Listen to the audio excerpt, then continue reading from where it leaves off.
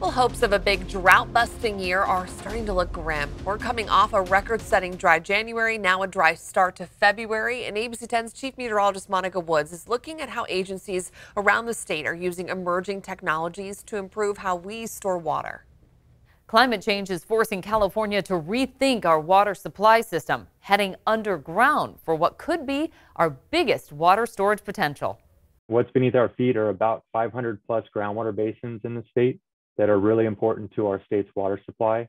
Steve Springhorn is part of the California Department of Water Resources team analyzing where these natural underground reservoirs exist and where water can be stored. Up until now, the mapping has been somewhat limited, but a new program called Aerial Electromagnetic Survey is helping to fill in the gaps. This data is a fundamental piece in understanding how the water gets from the surface into the groundwater system. The program uses a helicopter towing electronic equipment to scan below the surface, kind of like an MRI of the area.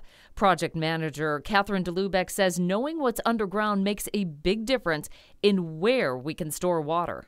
There are certain materials in the subsurface that allow for groundwater to flow more easily through, and those are typically coarse grain materials like sands and gravels. Uh, the finer grain materials like silts and clay, those typically inhibit water flow.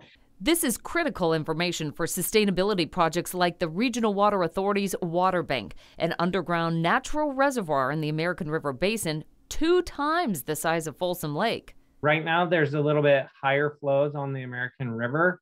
It's a way for us to capture some of those flows right now and put it into the groundwater basin to be used uh, in the summer. Ryan says this allows more flexibility and a bigger portfolio of water storage. A growing challenge as climate change continues to affect the extreme weather events that deliver both needed water but also drought conditions.